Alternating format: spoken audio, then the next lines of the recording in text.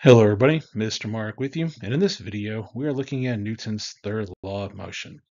Up until now, we've considered forces as being some sort of external push on an object, and we haven't really worried about what's doing the pushing. So today we're going to worry about what is doing the pushing. So kind of consider a real simple scenario where object A exerts a force on object B. Newton's third law tells us that the force that A exerts on B is going to also cause a force from B exerted onto A. Forces always occur in pairs. And what's special about that is that those forces are always equal in magnitude. Remember, magnitude is a physics word for size, and those forces always occur in opposite directions. So, oftentimes, Newton's third law will be phrased in um, terms of equal and opposite. That's referring to the force pairs. So here we have um, ubiquitous object A and object B, and they are going to run into each other. So that thing A exerts a force on thing B. So when I label that force, now sometimes I might want to include not only the name of the force, but also the thing that's causing it. So I've labeled this FB, like the force on B, and then due to A to keep track of the object that caused that force. So Newton's third law says there must be a force on A due to B that is equal in size, so absolute values to indicate size, and opposite in direction. So the blue arrow is to the right, the red arrow is to the left. I kind of indicate that really succinctly by saying negative FA due to B equals FB due to A.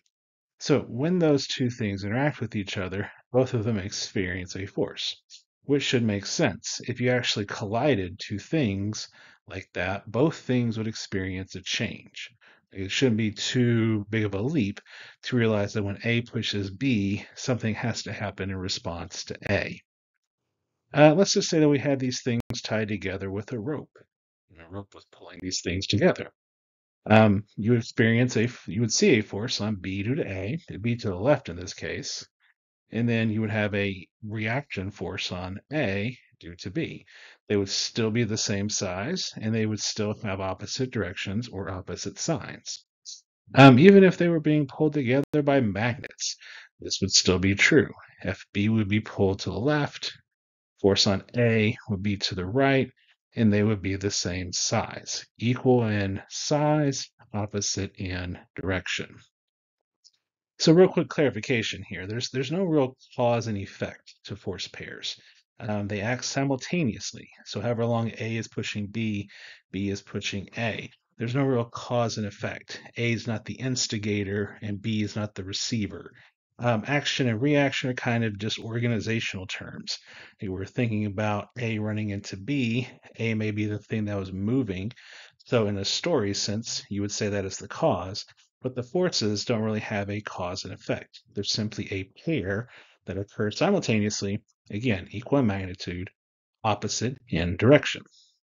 So systems are created when you have multiple things that are held together by force pairs. Force pairs within a system just hold the system together. They do not affect the motion of the whole system. So we kind of take our rope example and we hitch a, another rope to thing B and pull that second rope to the right with a force of 600 newtons. Let's just throw in some numbers for things A and B. Um, we can draw free body diagrams for these things. Like there's rope one, there's rope two pulling B to the left, and there's rope two pulling A to the right.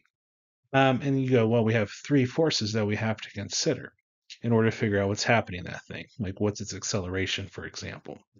So oftentimes when we have a system of objects, let's just think of them as being a system. And so instead of worrying about how much force the rope exerts on A or B, let's just worry about how much that one rope exerts on the entire system. So we can kind of rewrite Newton's second law like this. We can say that the acceleration of a system of objects, like this one, is equal to the net external force on the system divided by the mass of the whole system. So kind of just treating A and B as one thing. You can call it an object if you want. Uh, really, we should say that they are a system. So the, the external force is just 600 newtons caused by rope one. And together those things have a mass of 120 grams. So together they will have an acceleration of 5 meters per second squared. So by treating them as a system, we're just doing Newton's second law again. So if you are dealing with a system, any force pairs within the system are not going to affect the acceleration of that system. And so we re rewrite Newton's second law like that. The acceleration of a system is the next external force over the whole mass of the system. And then if all the parts of the system move together, every part of that system has an acceleration equal to that value, whatever you get for a system. If the parts do not move together, then the center of mass has that acceleration. And we'll investigate more when we get to our momentum unit um, parts of a system may be moving differently. But right now, we're just going to kind of focus on that first condition where everything's kind of tied together or they're in contact with each other and they're moving as one unit. So kind of returning to our rope, we, we got the um, acceleration of that system to be 5 meters per second square. So the second question now is, well, how much tension is in that second rope? Maybe that second rope isn't as strong and we just want to know, is it going to break? So kind of returning to our original free body diagrams that sort of look like that, I'm going to focus on just thing A. So just thing A, the net force equation would be sum of the forces equals T2. Uh, I can figure out the net force on thing A by, again, using Newton's second law, mass times acceleration. So since I've already found the acceleration of the whole system, and thing A has the, the acceleration of the system, they're tied together, um, I can just do m times a for thing A. So 80 kilograms times 5 meters per second square gives me a tension force, tension 2, of 400 newtons, which should make sense. It should be less than 600 because it's accelerating a smaller thing than the whole system. It's only accelerating part of the system. So this is actually something that I can check. I can go back to the second object B in this case, and I can run Newton's second law again, like figure out that the sum of the forces on thing B is just T1 minus T2. Substitute in the numbers that we just got a second ago, 40 kilograms in this case. Um, and you see that the left side of the equation is 200 newtons. And on the right side, 600 minus the 400 newtons we just calculated using thing A gives me another 200 newtons. So because both sides of those equations come out to be the same, um, I know that I've done it correctly. So just like systems and algebra, um, you can um, use one thing to solve whatever you're looking for, and the other thing to check your work, which I always think is a handy thing. So internal force pairs cannot be analyzed by thinking about a system you have to drill back to the original object or objects that you have. Because internal forces act on two things within a system, you can use either one of them to do the analysis, um, and then use the other one as a check if you're able to. So consider a book at rest on a desk. A very common question is, is this a force pair? And at first glance, it kind of looks like it because you have an arrow going up and you have an arrow going down, and they're the same size, which is kind of the equal and opposite thing that we've been talking about. But this, in fact, is not a force pair. And it's not a force pair because the things that the that are causing those forces are not the book. The book cannot push itself. So the downward arrow is the force due to gravity, and the thing that causes gravity is the earth, the giant rock under your feet. So the reaction to earth pulling the book down would be the book pulling the earth up. And then likewise for that normal force. The normal force is caused by the desk. So the desk pushes the books up, the books push the desk down. Those are the force pairs to those two forces. So it is important to remember that force pairs act on different objects. When you push something, you have to push something else because the reaction force is going to be back on you. This is why something can't push itself because if the force and re- if the action and the reaction are the same thing, they would just balance each other out. So let's look at another example. Here I've got a thing of mass m on a surface, horizontal surface like a table, and then a string from that thing uh, to a second thing of mass 2m, and then there's a pulley that's redirecting the string. There is friction between the first thing and the surface, and I'm curious as to learn what that thing's acceleration is. So A1 is my question mark. So if we go ahead and consider Newton's second law, um, because these things are moving together, um, A1 would be equal to the acceleration of the system, which is the net external force over the mass of the whole system. So this example was relatively complex. I've got six different forces going on. Which forces are external to the system and are changing the acceleration of this system? So it's important to realize first that the tension in the string is part of a force pair that is internal to the system. The tension is acting on thing one, and it's also acting on thing two. So that internal force pair does not affect the acceleration. You may be going, well, how are those force pairs in different directions or opposite directions? So the pulley is redirecting the direction that the string moves in. And so when we have a pulley, what we typically do is we use the pulley to change the direction of the axis that we're considering. So for thing one, the blue thing, positive x would be to the right. For thing two, the red thing, positive x would be down.